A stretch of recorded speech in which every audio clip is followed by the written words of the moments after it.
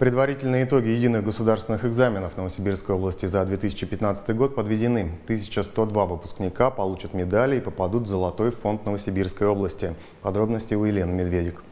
В этом году особое внимание уделили контролю. 85 школ оборудовали системой видеонаблюдения. Во многих ввели онлайн-трансляцию. С выпускниками провели инструктаж. Каждого проверили металлоискателем. Федеральный инспектор, 65 членов госкомиссии, более тысячи общественных наблюдателей внимательно следили за ходом всех испытаний.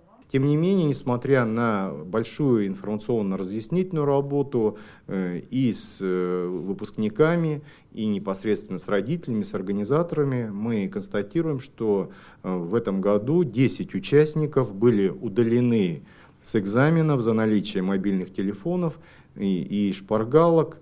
Это означает, что в этом году они не имеют права пересдавать экзамены. Этим летом испытания ЕГЭ в Новосибирских регионах прошли 13 606 человек. 46 набрали максимальный балл. Высокий уровень подготовки выпускники показали не только по обязательным предметам, но и по физике, обществознанию, информатике, немецкому и французскому языку. В Новосибирской области в этом году у нас впервые сдавался испанский язык. Один участник был. Математику впервые сдавали на базовом и профильном уровнях. Большинство выпускников подтвердили знания на крепкую четверку. Два человека одолели усложненный уровень на 100 баллов. Теперь им открыты двери любого вуза. Но есть и те, кто не справился. Не получили аттестат о среднем полном общем образовании в 2015 году, предварительно подчеркиваю, 36 э, школьников, потому что резервные дни мы результаты еще пока не получили. Э, для сравнения, в прошлом году таких выпускников было 216. 1102 выпускника в этом году получат медали и попадут в первый том Золотого фонда. Эта книга станет доброй традицией Новосибирской области.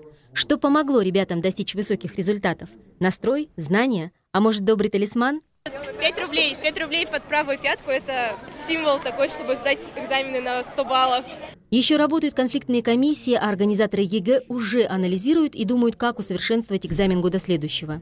И все для того, чтобы каждый выпускник был уверен в прозрачности и справедливости результатов итоговой аттестации. Елена Медведик, Алексей Баженов, Новости ОТС.